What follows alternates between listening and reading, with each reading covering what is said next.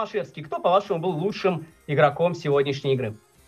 У меня был тяжелый выбор, господин ведущий, да, по ходу всей игры. Э, у меня было три кандидатуры, но вот так получилось, что господин Грибанов э, взял самоотвод, получается, на финальный раунд, а господин Никителов, да, к сожалению, не сумел с ним справиться, поэтому я предлагаю назвать лучшим игроком господина Зубрицкого, который взял на себя инициативу в самый тяжелый момент э, по счете 3-5 и дал довольно, мне кажется, смелый досрочный ответ. Мне кажется, это заслуживает того, чтобы Брянск. Против вас, как вы уже, наверное, догадались, играет защитник интересов зрителей, господин непомнящий, представляющий сектор Брянск.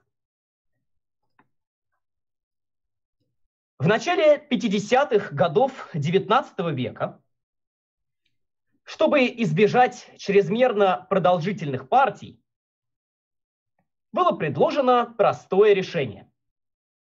Как вы думаете, господин Никипелов, какое именно?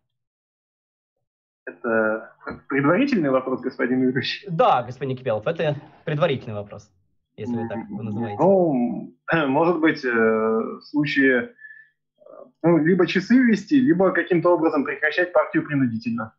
Ну, каждому игроку на всю партию отводилось фиксированное время. И для этого господин Никипелов, использовали два одинаковых предмета. Внимание, виртуальный черный ящик. Нет, у нас э, его э, не будет. Ну, э, значит, вы представьте себе, что у нас с вами виртуальный черный ящик. И в этом черном ящике находится один из этих самых одинаковых, двух одинаковых предметов, которые использовали. Внимание, вопрос. Что же у нас в виртуальном черном Досрочный ящике? Ответ. Досрочный ответ. А, хорошо, да, кто отвечает? Отвечаем, отвечает Артем Зубрицкий. Господин Зубрицкий, вы даже формулировку вопроса не дослушали. Ну, хорошо, отвечайте. Ну, вы, может, мне казалось, это конец, что, что в черном ящике я... Господин Зубрицкий, вы даете досрочный ответ, пожалуйста, отвечайте. Хорошо, хорошо. А, значит, э, в черном ящике находятся песочные часы. Они использовались таким образом то есть в часы ну, насыпались песчинки, соответствующее количеству времени. Значит, пока ш, э, во время хода игрока они сыпались, как только ход заканчивался, песочные часы клались на бок.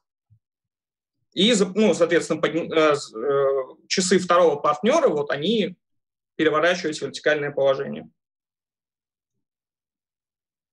Вы не дослушали, господин Зубрицкий, форму вопроса. Что же у нас в виртуальном черном ящике и как именно это использовалось? Каждому участнику ставились песочные часы, а чтобы остановить время, их клали на бок.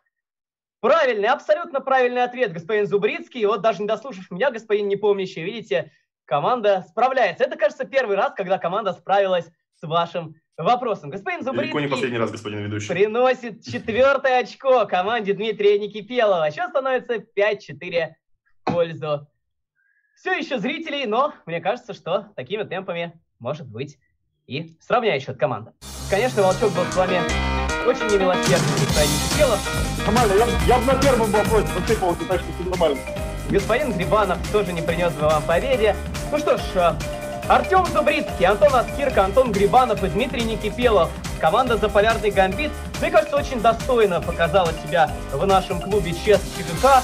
Была в полутора ну не в одном, но в полутора шагах от победы. Но снова игра заканчивается 5-6. И вот пока что ни одной из команд не удается победить в нашей игре.